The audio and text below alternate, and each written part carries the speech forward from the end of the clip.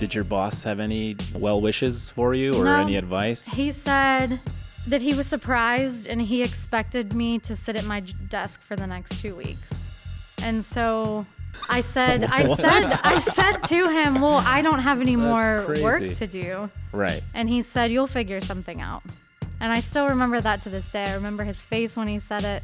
I remember him saying, you'll figure something out. And I just went back to my desk and I'm like, okay, if I walk out now, I'm for sure never coming back to the music industry. And I did anyway, because I said to myself, I can make no baked work. For the life of me, I will do whatever it takes to make this successful, and I will not come back to this industry. So I walked out, I left my ID badge, my parking pass on the desk. I didn't say bye to anyone. I, I went downstairs, got in my car, and then I Googled, how do you ship a refrigerated product? This is Startup to Storefront, the podcast where we inspire entrepreneurship through truth.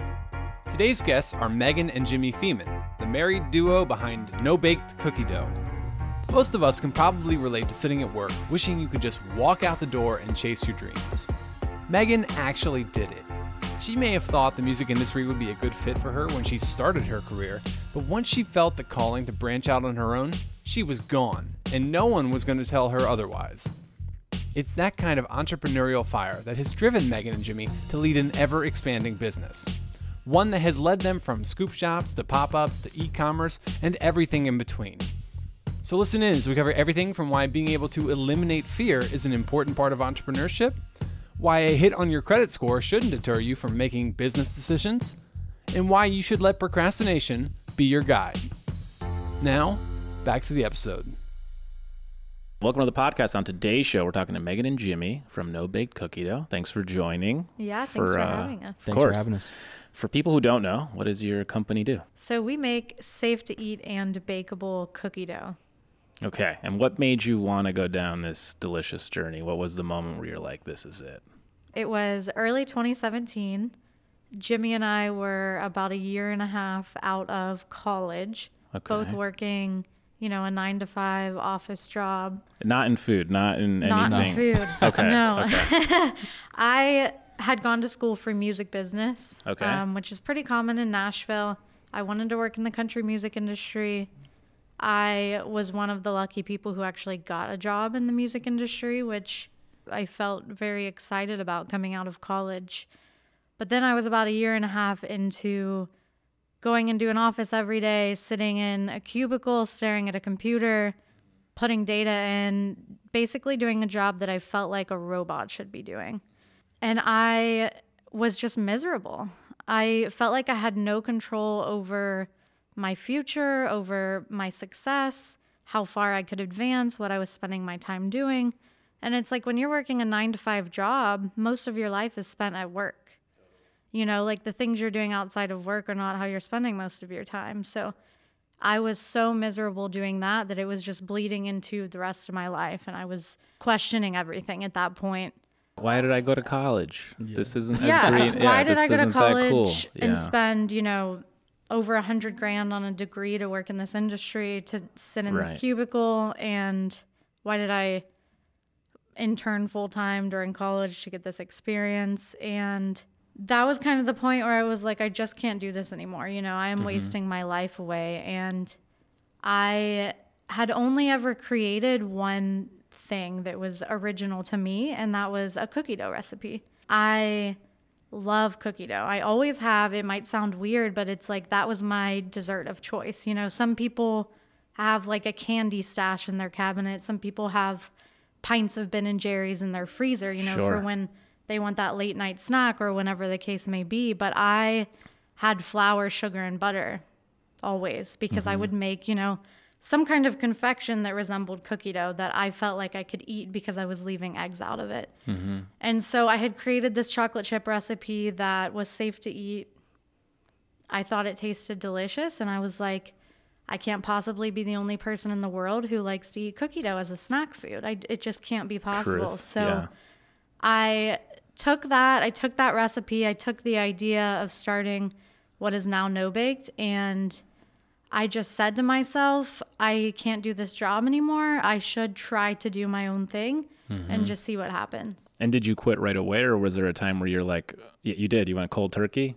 So, kind of. Basically, I spent all of my lunch breaks at this job that I was working creating like a Squarespace website and Okay. an Instagram page. And I delivered samples of the cookie dough to local Nashville influencers just in the area. And I told them, like, I'm launching on this day. If you could just post about it, that would be awesome. You know, Wow. we're a local up and coming business.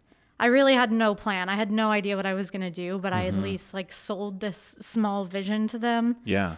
And Nashville is the kind of place that really supports local and Yeah, new it's very things. collaborative. Yeah. Yeah, a, a great community for businesses. So I did that just kind of hoping they would post and I would at least get some kind of traction. And so it was March 30th of 2017 and I launched the website where people could order online and I just said, you know, we'll deliver it to you or ship it to you. I really didn't have a plan. Again, I was just kind of winging it. Still had my job. It was a Sunday and I think I maybe got 10 orders. Okay. But Which is I, huge. I mean, that's I, at that I- moment in time. Yeah, I was like, oh my gosh. Like the the first order came through and I was like, wow, someone actually bought this. I can't even believe and it wasn't it. your cousin or your mom. No, just a random person. Yeah. And I was like, okay. And I went into work the next day, still had my job, and I think I spent the first two hours staring at my computer, going to like the phone room, calling Jimmy, calling my mom, being like, I want to quit. Like, I think I should quit. I think I should quit right now. Oh wow. And it was just that. this internal argument where with myself where I was like, okay, I have this job at this huge company in the music industry. I spent the past 4 years of my life going to school, interning, getting the experience that I needed to get this To get job. the job right. If I walk away from this today, I'm never like I can't come back. It's like a kiss of death. Yeah, you can't come back from that. You know, you're walking away from a very notable place that people will listen to what they say. Yeah. And I just said to myself, okay, like I either make no baked work or I don't know what I'll do. On that phone call, did your mom or Jimmy give you good advice? Because I think most parents, given in in how they grew up, right, where Yeah. they're chasing security, they want to support you, but most of them is saying no, like stay in this job. You're very lucky. Yeah. They'll try to convince you to stay. Yeah, and we definitely in the beginning, I think both Jimmy and I got that from some of our family. I am super lucky because my parents are entrepreneurs, oh, so oh, nice. they never had that like you have to go to college, you have to get a job out of school, you have to save money and buy a house. They never mm-hmm. had that mindset. Right. So fortunately, when you know I was on the phone with my mom, it was like a yeah, you should you should go for it. And with Jimmy, obviously, he was like, you should definitely go for Yeah, I this. Like told we can quit. do it. Yeah. Light it And on so- fire. yeah, and. I I did. I walked into my boss's office and I said, you know, I started this business. I really want to put everything I have into it, and you haven't given me any work to do. Like I was at the point where they would give me things to work on. I would finish, and then I'd tell them I was finished, and they'd say, okay, hang tight. right. And I'd sit at my desk and think, why are they even paying me to sit here? Right. It could be freelance or it could be per hour. So Yeah. that way you can do the best I mean, both. they could outsource everything I was doing, and Yeah. and it's just not how such big companies work. So, yeah, I Did your boss have any, uh, I don't know, well wishes for you or No. any advice? he said You're making a huge mistake. he basically said that he was surprised and he expected me to sit at my desk for the next two weeks, and so. I said, I said, I said to him, "Well, I don't have any more work to do." Right. And he said, You'll figure something out. And I still remember that to this day. I remember his face when he said it. I remember him saying, You'll figure something out. And I just went back to my desk and I'm like, Okay, if I walk out now, I'm for sure never, never coming back to the music industry. Like, I would be the person who walked out after this executive at a huge company told me not to. And I did anyway, because I said to myself, I can make no baked work. Okay. Like for the life of me, I will do whatever it takes to make this successful and I will not come back to this industry. I love that. And I that was the that. moment. And so you legit left right there that I left. day. I walked out. I left my ID badge, my parking pass on the desk. I didn't say bye to anyone. I, I went downstairs, got in my car, and then I Googled how do you ship a refrigerated product. That's such and a I, good s- I story. went to like all these stores, Restaurant Depot, these places I had never even seen, looking for like gel packs and Okay, so That now you're trying to figure out the shipping thing. But Yep. at the same time, did any of these influencers or the Instagram people did they did they place any orders or did you see any signals from the market around like, oh yeah, people are not following me? Because Nashville is very collaborative. I think Nashville and Yeah. Los Angeles are probably like the two most collaborative economies in the United States, where everyone's trying to help you out. yeah, Uh, I grew up in Boston. It's not like that. Everyone's it's like dog eat dog. New York's very much the same way. Chicago's kind of a mix of two. But being in the right city, I tell people all the time. Like I tell people I'm a tropical flower, which means like I can only grow in certain climates, Mm-hmm. and LA becomes that climate for me. And I think Nashville for entrepreneurs has that also. yeah. When they were helping you, what what was some of the things like? Did you notice anything right away? Were they trying the product? Were they posting it? And they were like, "Oh, this is maybe the best product I've ever had," or Yeah, I think some of the first encouragement I got was actually from them because they were very honest in their feedback. They said, This is super delicious. Like, have you ever thought about doing this flavor? Or, like, would you consider doing this with it? okay, And so getting their honest feedback and then seeing them actually post because, you know, these influencers do have a certain level of credibility they have to keep. Sure. So, I mean, every influencer does, but it's like they're not going to post about something they don't like. exactly. They, don't have want to really their like followers to get something and be like, why would you? Like, this is terrible. right? So, just the fact that they even posted when I was just giving them free samples, I didn't pay them or anything, made me feel confident that I had actually made something that tasted good. Yeah. And then Jimmy, what what is your story?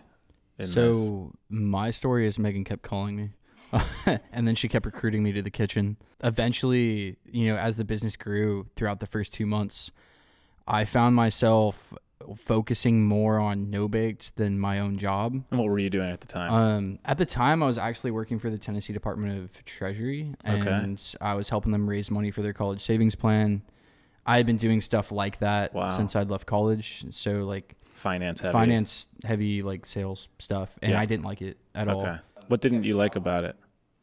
I think the thing I didn't like was I wasn't passionate about what I was doing. Sure. So I would attempt to be passionate by like Mm. either finding new ways to make what I was doing interesting or finding like new jobs essentially. Like I switched jobs 3 times in a year and a half. Okay. It's the sign of an entrepreneur. Yeah, sometimes switching jobs or just being fired from a job are literally like the best things that could happen to you Yeah. because you realize it's not you. You're like, "Oh, it's it's the thing I'm doing that sucks. It's not me." And there's this weird moment in that because sometimes people get down on themselves thinking like, "Oh, maybe I'm not meant for this world or whatever." But it's just like their world looks different. That's all. Yeah, and you start to realize that you might be after something that you can't really put your finger on. No baked became that thing for me. Okay. So I quit my job in July of that year. Megan started it the end of March. So March 31st is the first day she posted on Instagram. We consider that the birthday of No Baked. And there was this moment right before I quit my job that kind of like pushed me over the edge where we had a pop up event. It's called like the Centennial Spring Bash. And it happens in Nashville every year. It's like makers and, you know, people who are hoping to start a CPG company or whatever Mm-hmm. are like out there trying to sell their products.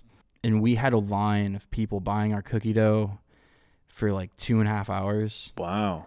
And it was like that first moment of validation where you're like, And you're in, you're just in a could tent, right? Yeah, you're just in a tent with a Okay. cooler Yeah. and you've got some Wow. cookie dough in jars and it's not really perfect. Yeah. Um, and it's just the both of you, yeah. and you've loaded your car full to to unload Yeah, and we it have like famous day. people coming and buying cookie dough from us at this thing, and we're like, this doesn't make any sense, and they're but it loving it. does.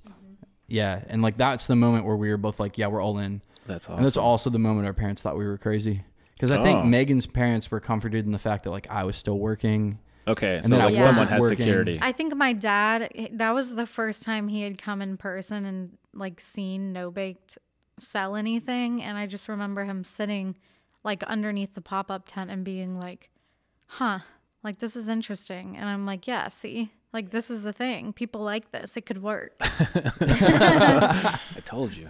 Told And you. I think it's normal. Like parents obviously want some kind of safety and security for their kids, but Yeah. It's definitely friends and all your relatives too. I, I talked with one of my good friends about this just two days ago. A lot of the time, like the worst advice you can get is advice that's like coming from a good place. So like friends, relatives, parents being like, "Hey, where you're at right now is good. You really shouldn't risk anymore."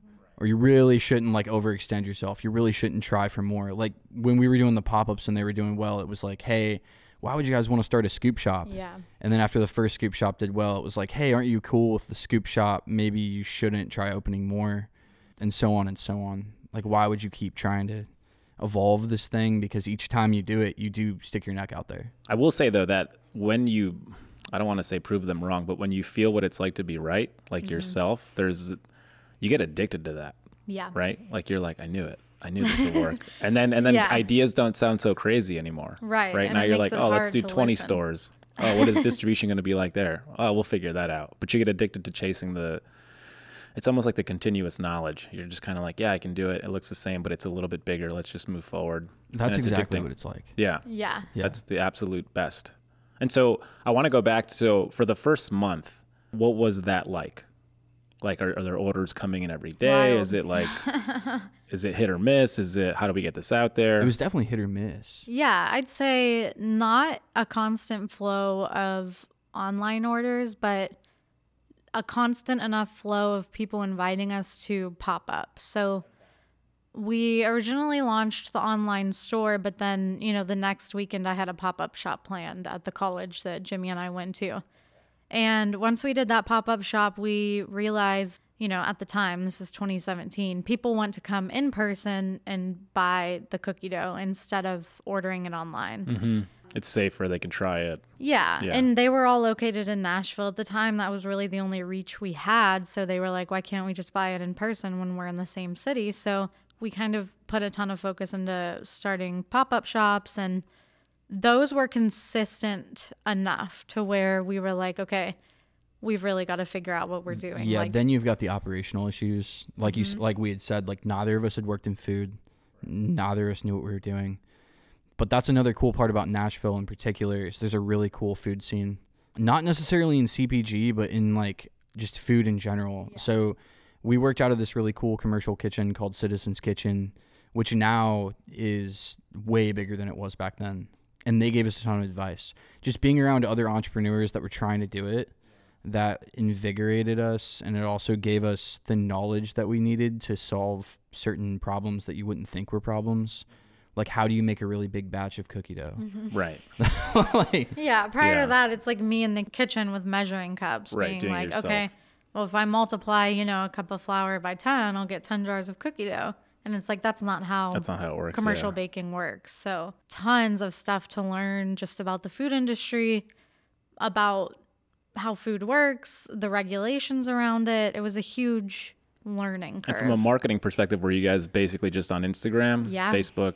That's it. I was exclusively doing Instagram at the time, you know, just working with influencers, posting our pop up shops, maybe doing some like paid promotion posts, Mm-hmm. but that's it. Okay, and that was working. And then in terms of how you guys were financing it, are you just everything you're making you're putting back into the business, or did you guys? I think I Put your got like 10 new stuff. credit cards that year. oh, for Oh, sure wow. yeah, yeah. um and that all yeah i mean it, it it's weird when you actually look at the way that we like funded the business because the first summer which was like just pop-up shops and online store and quitting our jobs like i think i maxed out my last credit card just trying to like pay for stuff for no baked and then just paying our bills because Yeah. obviously we still had to pay rent and like eat Right, food right. and then we just had this really cool time like getting the first store open where we didn't have enough money for a contractor but megan was able to take out all these credit cards and i was able to convince my dad to come help me like build Wow. part of the store and it was just this really cool like seven week period where we found this old restaurant we redid like the bar that used to be like a cocktail bar into a cookie dough bar it was this old house so we like painted it white and tried to make it look cool Yeah, I was very stubborn at the time. I was like, I'm not taking money from anybody. We will do this ourselves. I have good credit. Let's just get everything we can. How much debt did you guys get into? enough it, it wasn't so much it was probably like 35 or 40 grand Yeah. and then we paid all of that off in the first month of having that store open Oh wow. that the store killed it Was it first- first stressful? month. oh yeah Maxing out credit cards at the time. Yeah. I, I want to say yes, but there were we went back and did it again You saw it. Yeah, I was three- gonna three say months later. You Not knew what it stressful meant. enough for us to be like Yeah. we shouldn't be doing. i mean we were 23 and really Yeah. I don't want to say dumb but just naive Yeah. Yeah. so like we went back we were like this store did really well. This is like a month and a half in. We're like, we're bored. Let's build another store, yeah. which is probably not the best idea. It ended up working out, but like we went in, doubled down. We actually paid for a firm to come in and like help us with like franchise documents. So we got like a law firm for franchising, paid for that, paid for some operations consultants to help us make like an ops manual, and then built the Louisville store and maxed all our credit cards out again. And this is like February of 2018, so like the business isn't even a year old. Yeah. we were like, we're just all in. And then that one did even better than the first one. And so then we got the mindset, well, we can't do anything wrong. You know, like we must be amazing at this. We know what we're doing. like this is flawless, Right, right, right. which is obviously not true, yeah, probably with any business, but that was us at the time. that's amazing. yeah, that led us into like the first season of like issues that we had as a company. I want to talk about one thing because this is something that a lot of entrepreneurs struggle with. It's the concept of if I don't have seed capital and I'm going to go use my credit cards, there's this thing that holds them back around like, oh, my credit score is going to go to crap. And I always tell them, like, it's just a construct. It doesn't really matter. And like the fact of you saying that your freedom hinges on a score that you definitely don't need, and worst case can improve over the course of six months or a year or two years or any time really, it holds like there's a real thing that holds people back from. It's like I have this great credit score. It took me so long to build it. I want to keep it. yeah. But it's this like false. That's exactly it. Yeah. It's like a it's like a thing of like don't do that. Yeah, Jimmy and I have the mindset of like, if we can't afford to buy something, we're not going to buy it. And also at the same time, No Baked is our savings, No Baked is our future. Uh, Yeah. Why No Baked would is all the let wealth that we have. Right. Yeah that is it. that is where you know we score ourselves why would we let some made up thing from society prevent us from building the thing that's actually going to be our future You're not buying success? Bentleys. You're No. just investing in your don't get me wrong we went through periods of time where we were like yes we should buy expensive things live in these expensive places but Yeah. us yeah. today we just lived in a bus for three and a half months so i think it, it just takes phases of like learning what actually matters to you It's a Everybody's cool different. thing that entrepreneurs go through sometimes too. Like in your early 20s, if you're the type of person that came right out and was like, I'm going to be an entrepreneur for a living. And maybe it's not always the same company. Maybe you have some like fails, maybe you have some like wins, but it's always like on that first big win. A lot of guys will go out, a lot of guys and girls will go out and just buy something ridiculous. Mm-hmm.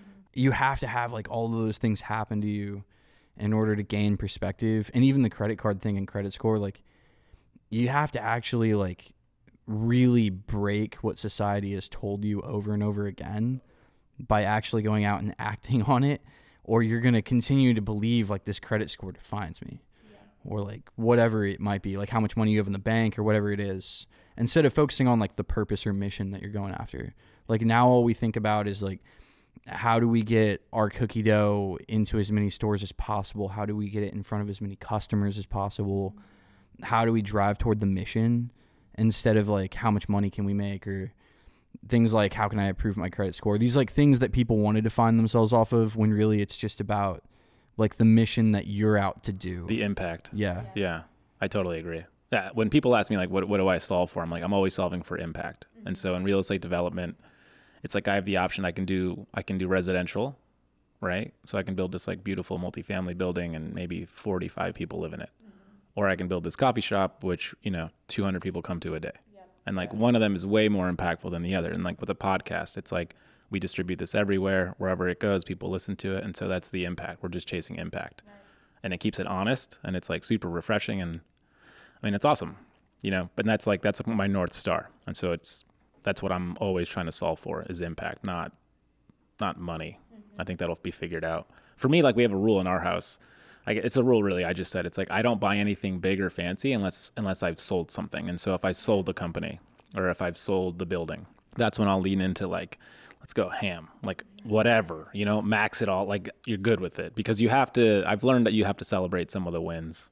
Yeah. Otherwise, you it's like, what's have the point? yourself Yeah. if something good happens and i think we still do that but you know there there were periods of time where we were like, this is so great. Let's let's buy a Tesla, you know, like Yeah. Yeah. just things looking like things that today we would be a little more hesitant about. what happened when COVID hit your business and your locations had Oh, to can I tell the close? story? Yeah. I love the this for it. story. So, September of 2019, Megan and I, so this is about two and a half years after we started the company from just our apartment. We had eight stores open, three franchisees were, so three of the eight stores were franchised. We were doing well from the outside, like looking in. Our average unit volume at each store that we opened was lower and lower and lower each time we opened a store. The stores in Nashville were doing really well and Megan and I really didn't like what we did for a living. So I didn't like running the scoop shops, and and neither did Megan. And we'd gotten in so deep that it's all we did. And you know, you uh, you add a new door, like you add a new shop, like it's twice as much work. So we basically signed up for five times as much work, plus the franchisees mentoring them and and helping them succeed. And not only did we just not have it in us at the time, which I think we've grown over time and, you know, continually done better, but like at the time it was like, dude, we just we just don't like doing this. So we decided like, hey, we need to go back to trying to sell online, try to get back to the product because that's why we started the business. Like Megan loved her cookie dough. I loved it. That's what we liked doing, liked sharing it with people. I loved doing pop-up events.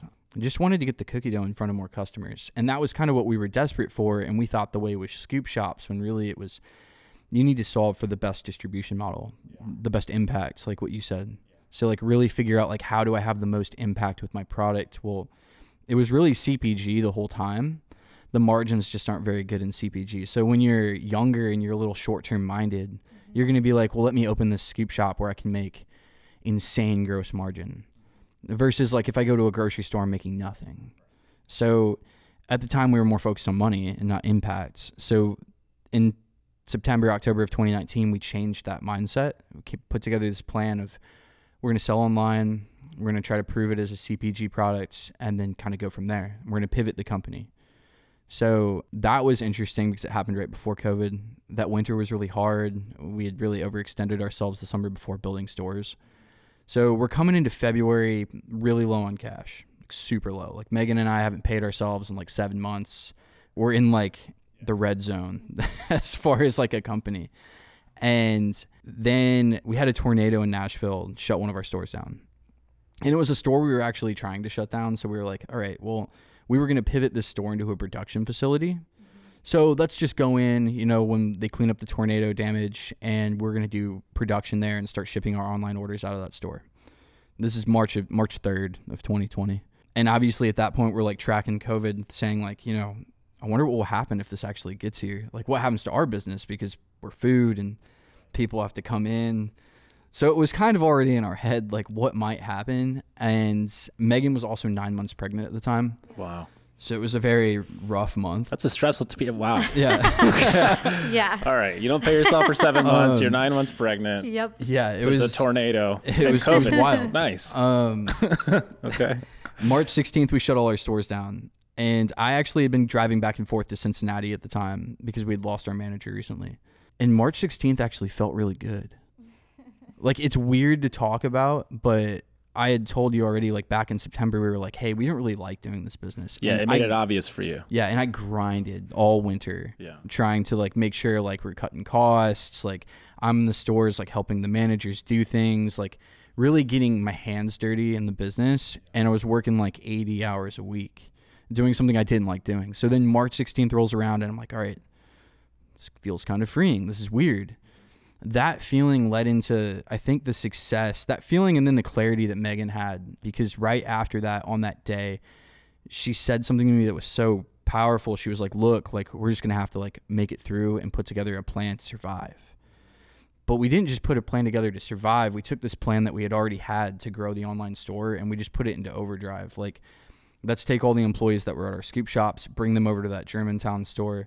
Let's start producing cookie dough. Let's post and contact all the influencers we've ever worked with, have them post about it let's partner with our friend that runs a digital agency and like start spending money on Facebook ads. Like we had no cash in the bank and he was like, just commit $400 a day, $300, $400 a day to Instagram ads and see what happens. And all of the stars just aligned because anyone that was doing ecom at the time knows Facebook returns were better than they'd been since 2014. The influencer posting worked. Our online store sales went from like 20 grand a month to like 80 grand a week. It, it was insane. Like th- wild stuff. Like we we're getting like 200 orders a day. And so by the end of March, like w- our daughter was born on March 31st and I was able to like go to the hospital with Megan and, and not work and not check my email. It was like a complete shift. It happened over two weeks and it took no money.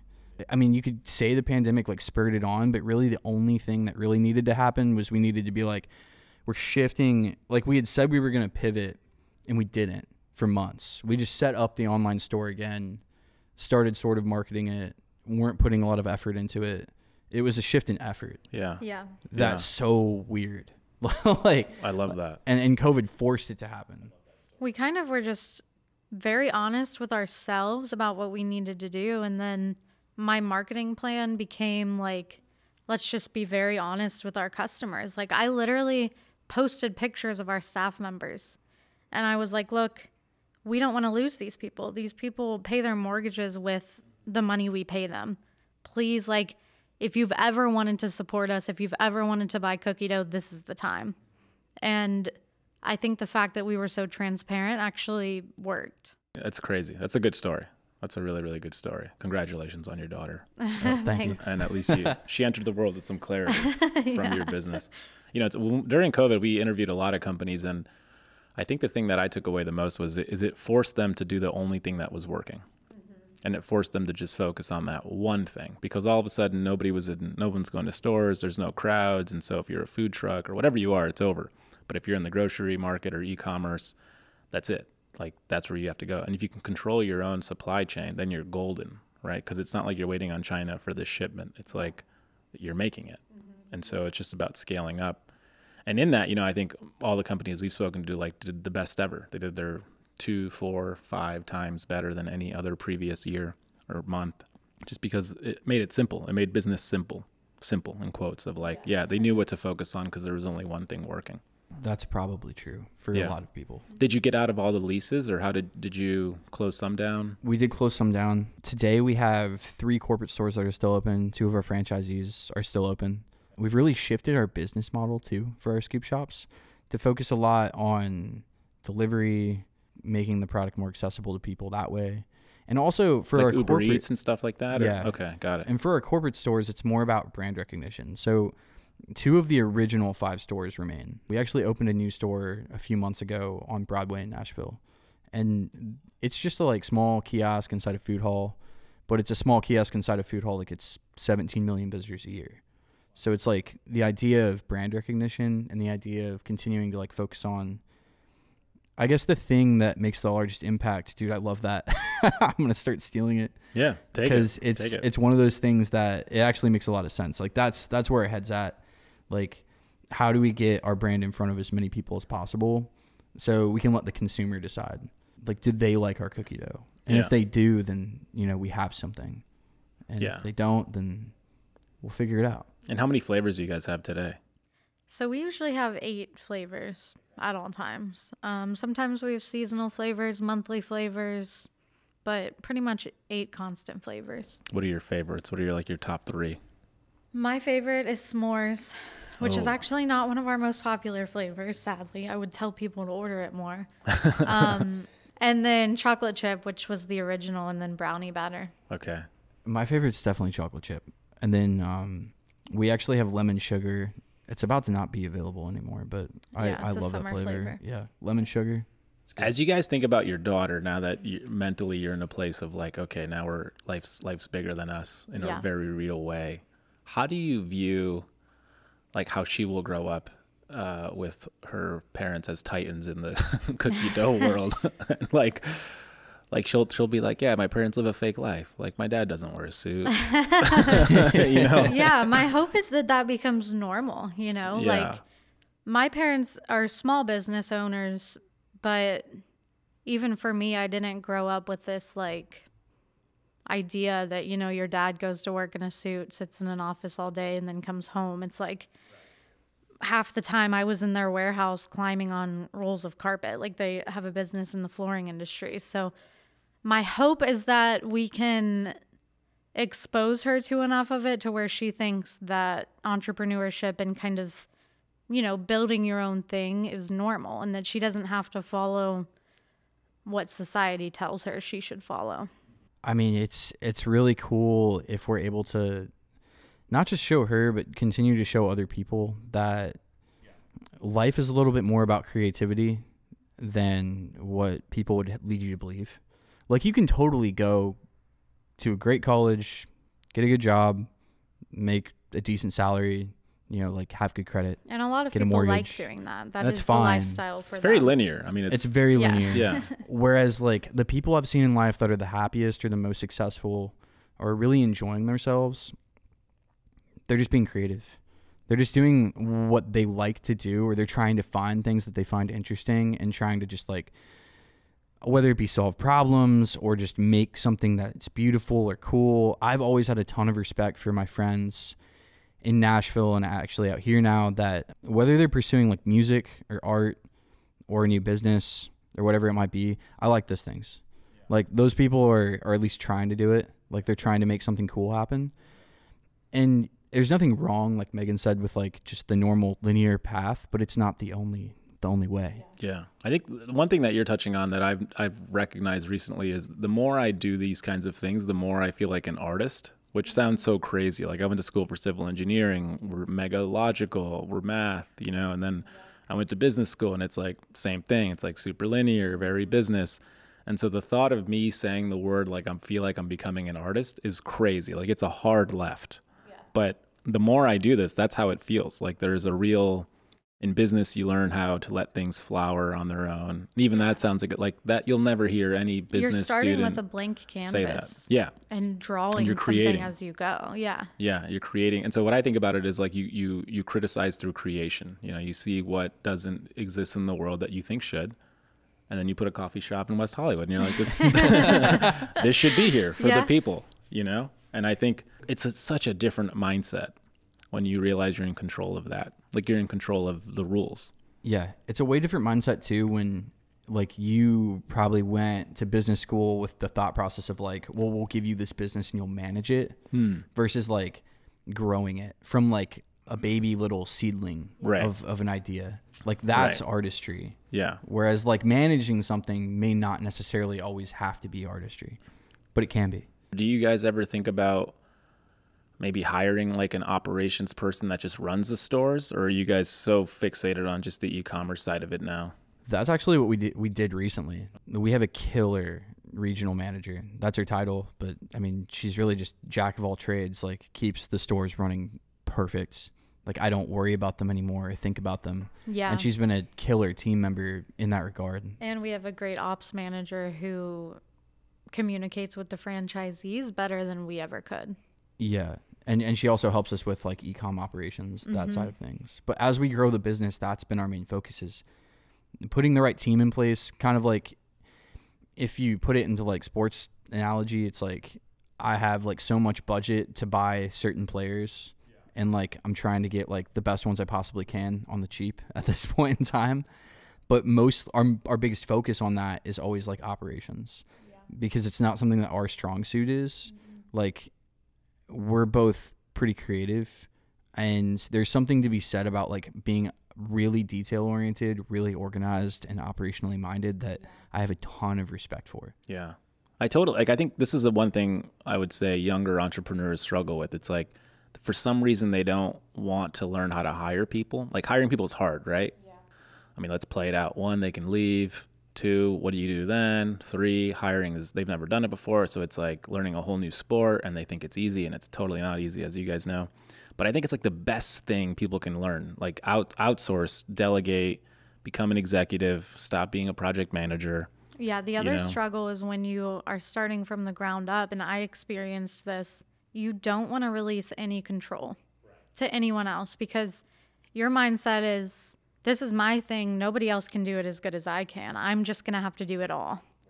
And I did that in the beginning. I think the first scoop shop, I was probably working like every day in it because I was like, nobody can manage this like I can. They don't know the cookie dough. They don't understand. Which is partially true to some extent. It's like It you is. you own it, and so But then you get to a point where you're like, well, I can't do it all, or else this is the end of No Bake's life. You know, this is Yeah. as far as it's going to go. So you have to release control and accept that things won't be perfect, but there's tons of people that are great that are capable of doing things, you know, as well as you. will you guys ever remove yourselves as uh, let's call it like the co-CEOs and have bring in someone else and make you guys more like a chairman, We've chairwoman? we've thought about that concept a lot recently. Yeah. Just as we begin the path to scale. It's interesting because it's like you really want to have the right people in the right seats, but sometimes the right people is like a moving target. So like right now, I think That's- it's yeah, important for us to be like that for the company. Like Megan's title's CEO and mine's like chief strategy officer. I don't even know what that means. Sure. I just made it up. It's for the Um, world. It's for yeah, it's for society. the world. Yeah. So, but but our goal right now is like Megan attempts to like really really focus on like brand product.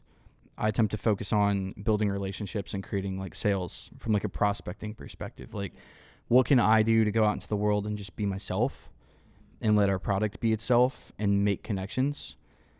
And like when it comes to finance and operations, which is like the other side of the business, like how can we hire for that right now to support what we're doing, whether it be outsourcing it, which I've had a lot of very smart people tell me that's the way to go. I've had a lot of people that are really smart tell me like, no, you need to hire people in house, pay them with equity, and like create a culture. It's two different mindsets Uh, yeah. I mean, like that I'll we be- have to choose between. I'll give you my take on this. It, it's totally personal to you. So for me, when I had a tech company, I hated like I hated hearing about my employees' Tinder date and how it went bad and why they were in a bad mood all day. Like I'm like I'm not your therapist. I'm here to hustle. And look, this is a me thing. Like I know people are gonna listen and be like, ah, what a dick. But and that's totally okay. Like that, you should you should take that judgment because I'm being me. Like I am not that guy. I'm not. I don't want to be the mom in the office. Like I just want to go come in, execute, and I want to go home early so I can go work out or like eat my food the way I want to eat it, not be in the office till 7 p.m. Uber eating. And so it was this thing where it's like totally a personal decision. And for me, I hated. I literally I, I met with one of our investors and he was like, jot down. There's like this app you can get. It's like an extension to Chrome, and he's like, just jot down your all your time. So when you get into the office, email time, team time, therapist time. When you're getting your team back to like normal, and literally 45% of my day was spent on making sure my guys were ready to perform all day because they're in their 20s and you know they're experiencing real life like they're maybe hungover which is totally fine like i'm not i'm not saying don't do that th- those things it's just like i didn't personally enjoy being the person that had to resuscitate them back to normal human life. And that's a me problem. And so I was like, okay, so here are my options. Now that I know who I am, I can either hire someone who's good at that, like a really good ops person who can make them feel fuzzy, or I can be like, no, this isn't the business for me. I'm just gonna go do. I'm gonna take a left and like leave, and I'm gonna go do what I want to do. But it's the personal decision. So for me, that's why I'm not in tech anymore. And I'll never be the guy who has like 200 employees. Like that's not. That is so not me. That's when you're just a leader. like that's when you become a leader, and that's what you are. And that's why, like in real estate development, my job is really to hire the experts. That's what we do now. And so it's like I can't be the architect, I can't be the engineers, but you know I can wrangle everybody together and make sure everyone's executing. But I'm also not their parent. I'm not in the office with them. I'm not hearing. You know, I'm just making sure everything's hitting the timelines it needs to hit. And so that's more suited for me. So that's why I do what I do now.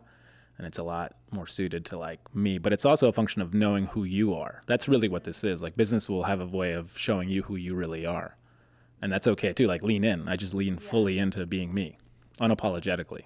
And and you know, in business, obviously you guys are together in it, but it's also there's differing opinion there too, and so you it, you have to find a way to do what you want to do while you do what you want to do. And so, you know, the brand building to me is super fun, right? I mean, that's like who doesn't like doing that? Yeah. Yeah. That's and the, so the best part.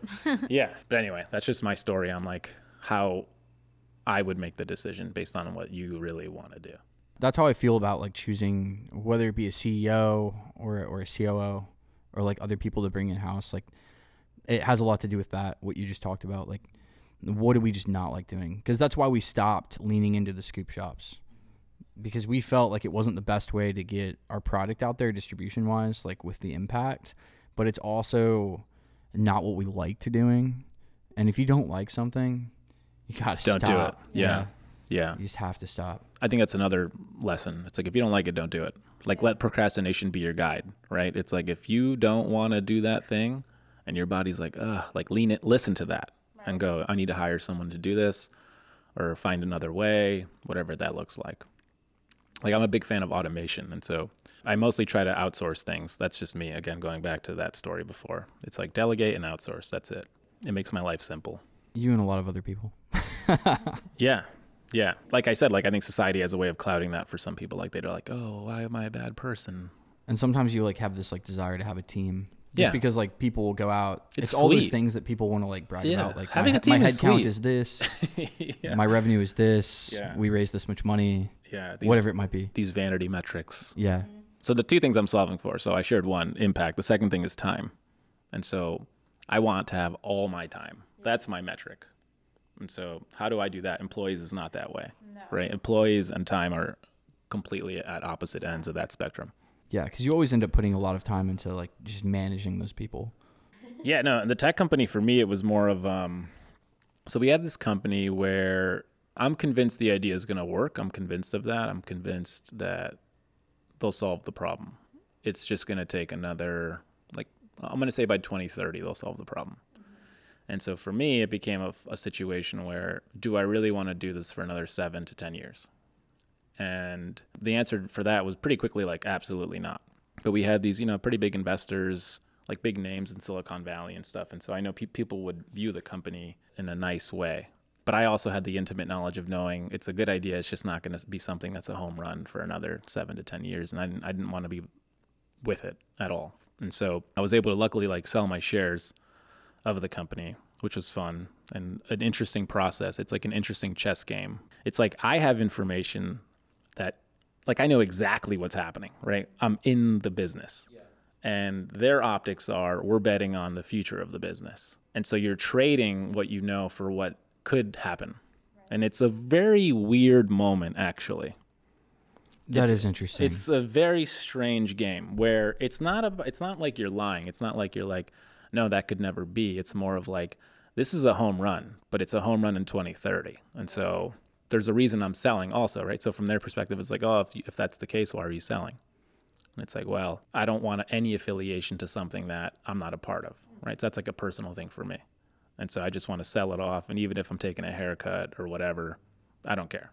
Like I just don't want I don't want to think about it. I don't want the mind share. I just want to be out. And so, you know, you, you trade on that on that information. And so I was like, all right, I'm done. And that was it. And I got all my time back, which was something I was solving for. And then I moved to LA and I was like, wow, the real estate here is really weird. Could we do something in the real estate development game? And I just was like, Let, sure. People always ask me how did I get into it, and I'm always like, I just decided, and that was it. And but but the thing is, like the building blocks are, I knew how to raise capital, I knew how to put a deal together, you know, and so those things are the same. And then somehow I had to lean back. Maybe you felt this as you're raising with your finance background. Like I was a civil engineer, thinking I would never ever in my life be in construction or around that world, and now I am literally right? And it makes me better. Like honestly, it makes me a better developer because I can read plans. Most developers are finance people who can't they can't read drawings. They don't know what things mean. They can they can understand them at a high level, but not you can't be like, no, this is this is like what a footing looks like. This footing is not right. You know, like things like that. And so it made me a sharper, I guess, developer. And so it's a weird way of like life all comes back in some way, and everything you've learned has a way of coming back and culminating into making you a sharper individual. Yeah, Jimmy's financial background has definitely helped us, even just understanding, you know, the concept of raising money. Yeah, I think understanding deal terms and then what you said about selling your shares makes a lot of sense in a lot of different ways because a lot of people don't necessarily understand the reason to raise capital, especially from a startup's perspective when you're us, when it's like, what are you guys doing with this money? They're like, why do you need it? And, and why in the world is it eventually going to be so valuable that, you know, this makes sense as an investment? And when it's something that burns cash, like, you know, I'm going to take this product into the grocery store and I need to acquire new customers. Or running a subscription business, acquire new customers, running a software business, acquire new customers. It's all about like bringing money behind a good product so you can get it out in front of people. Because these days like we we run like an information and attention economy. So like you need money to get attention. And that attention is currency that allows your product to get out there. Just because you have a cool product or a cool song or you got talent or whatever it might be that doesn't mean anything unless people watch. Which is really interesting to like get into. Well, I mean, like I'm an investor today, and whenever I give i write a check or whatever, it's like I don't hold this the founders accountable in any capacity. I'm like, th- I believe in this idea, and I believe you're the person to execute it, and like, there's no strings attached. Use me however you want. I won't check in with you. I won't ask you any questions. I'm just a fan. Like I'm a fan, and I'm showing you this check as a function of energy. This is me saying I've built this energy, and I'm giving it to you. And so money, my relationship with money has totally changed also. Like I don't, and it's not because I have it. It's more of like a mindset, like to what you're saying, like the currency is the eyeballs. The currency is getting your product out there. It's the impact. The currency is not the money. The money just allows that to facilitate a little bit easier. yeah You know, it's like the plumbing. Yeah, and Yeah. the way that you said like I'm just a fan, like when you invest in a company, like whether it be like public company or you go to a crowdfunding site and invest in something like our company, or you're an angel and like you know you write like a hundred thousand dollar check to this cool new startup, like you really should be doing it based off the product. Mm-hmm. Like I hate when people are like, "What was the past performance like?" It's great to ask about sales because sales are like basically validation. Yeah. Like if market I say like we've sold like seven, eight million dollars of cookie dough over four years, you'd be like, cool. That means seven, eight million dollars worth of people. Like they they put that energy into like getting that product. So that's validation. But like profitability, like business model maybe is like you, you want to get into that, but those things can shift and change when the product that's not going to change. And if people don't like the product, that's not good. if they like the product and you're just not getting it to market in the right way or you just need more money to be able to get the attention to get the product out there whatever that might be i think those are that just is the name of the game but if your product's bad that's probably where you should start like do i like this thing I think like business 101 investing is like uh, you want to at minimum you want to invest in the product that's doing so well despite the idiots running. The company. yeah. Like that's okay that like would that, be an awesome that just saved you like awesome a product. Stanford MBA. Like literally don't go just right because anyone can solve that. Like a private equity firm could solve that. You as an investor might be able to solve that. And like you said, it's the whole it's the product. and that's why private equity buys those companies all the time Totally. It's Yeah, like, that's like what they're good at exactly. Like, we can if solve this. We're good at building a brand and a product and getting sales. They can come in and figure out how to like increase margin. Yeah. I mean, you can't start from like a really bad spot. That's the other thing in CPG that gets really frustrating. And I don't know if you've ever experienced this. You've had some other guys that were in CPG on the podcast, and people focus on gross margin like it is the end of the world. And I understand why, because if you don't have a good gross margin story, like the product will never scale, and that's a fact. But if you have a path to gross margin and maybe a path to profit, that's not, you know, built on fairy tales. That's built on like real, actual research, data, partnerships, commitments. That matters. But like, I hate when someone wants to look at it like an entrepreneur, especially someone who's younger, like thinking about starting this business, and they may not, they may do it. And you just look at them and you're like, gross margins aren't there. Just give up. Like, you can't say that to someone. That's ridiculous. Yeah. I mean, one of the things I learned in raising capital a long time ago is once I'm getting those questions, I'll I'll leave I'll end the meeting. Yeah. I'm like, this isn't for you. Yeah, Like I'll tell the investor, this is not for you. And and frankly, and I also tell them like, look, if you're looking at my five year projections and you're trying to like be like, yeah, like you're an idiot. Like don't look at those. Like I'm lying to you. Yeah, you know, they're Like, just I'm gonna be wrong. It's just made up. I'm gonna be wrong. For sure. I'm Yeah. gonna be wrong. That's that's the thing with like finance people. Like I'm trying to find the right like outsourced CFO right now to to help us kind of like build out the plan for the next however many years. And they're always like, "So do you guys have a budget?" I'm like, "Yeah, we have like a loose budget." They're like, "Do you have sales projections?" I'm like, "I mean, I could." They would be wrong. They've never been right. I've I've done it before. I did a whole entire projection before the pivot to ecom. The numbers that we hit in April of 2020 were the numbers I thought we'd hit in April of 2021. right. So it was like, That's a happy problem. what? Yeah, it's a happy moment. And then there's yeah. the reverse of like I did projections for like new stores, and the store does like 80% or 70% of the revenue I thought it would.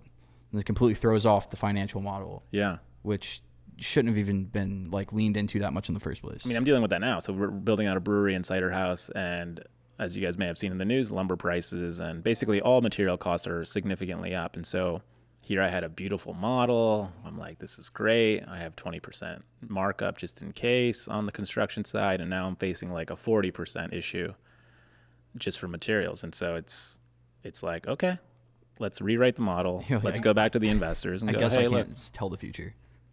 You can't. And the thing is, like, it doesn't even bother me, you know. They'll, and so I just lean into being transparent with the investors, saying, like, look, this is a situation. I'm sure you guys have all seen it in the headlines. We need more capital.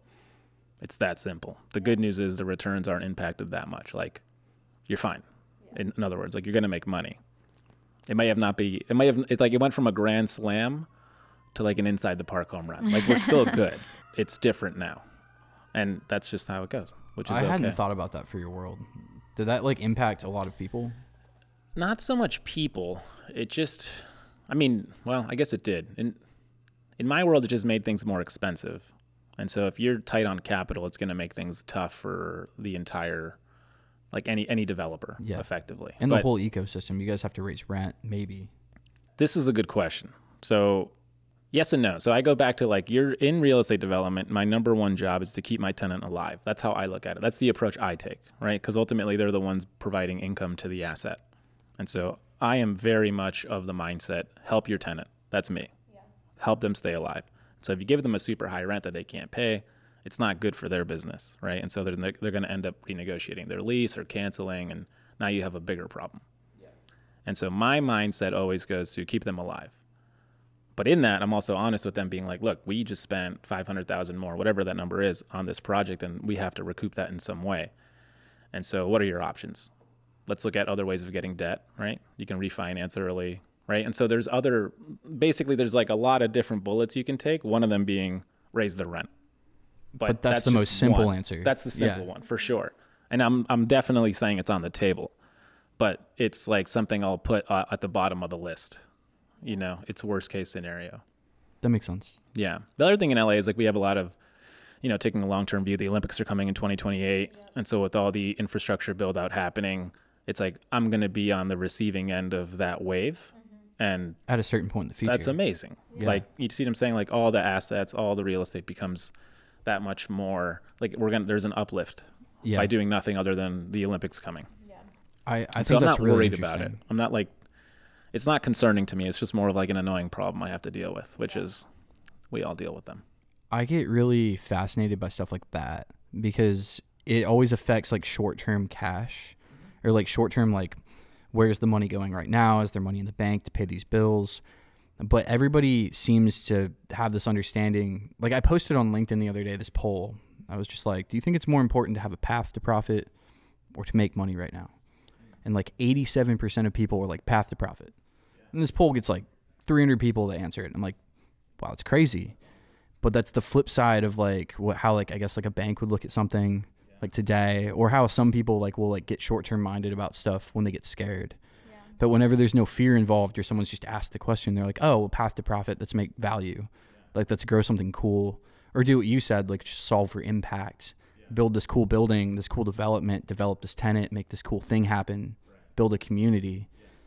But like fear gets in the way of that a lot. Cuz short-term cash is I mean, it is important to pay your bills.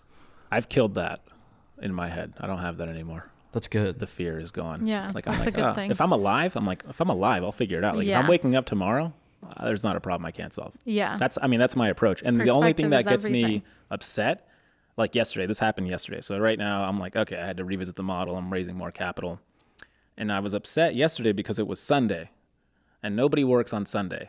So I'm here modeling this out, and I like want to get it. I want to solve the problem, yeah. but I can't because if I send this email out, no one's gonna read it today. See what I'm saying? Because it's Sunday, and so I'm like, that's the thing that gets me. It's it's sometimes the society has a way of impacting progress, and so first thing Monday morning comes in, and I'm like, I'm all right, done. Email's done, shipped it out. Let's start solving the problem. If it was Saturday, it'd be even worse. And so you know, that's how I look at it. I think being able to eliminate fears is an important part of entrepreneurship. Yeah, I think you learn it. You learn how to Yeah. do it because you realize it does nothing for you. Like you realize in the, your fearful state, you're just being selfish. Your business isn't improving. You're not putting your product out there, and you're coming from a place of like defense. Yep. and I just play offense. Like I'll play defense when I'm a CEO of like a public company and I have to play defense, Mm-hmm. but that'll never happen because I have no interest in employees again. So I'm just gonna play offense. Don't Yeah. want to do that. Yeah. I think that's important to say. And like to continue to saying to like other people and just reinforcing the like mindset and the thought process. Like, hey, if we focus on creating value, and solving problems, we'll figure it out. yeah. It sounds ridiculous to like a VC or like a bank. They're just like, what do you mean you're just gonna figure it out? But you're gonna figure it out. You'll figure it It's out. It's gonna happen. That's how life works. Yeah. Well, thanks guys for coming on. Yeah, Thanks thank you so much. Where can people find you? And try your delicious products. So our website is nobakedcookiedough.com and then all social media is just no baked. No baked. Yep. Support these guys. I like it. Thank Thank you guys for you. coming on. Thank you. Thanks so much.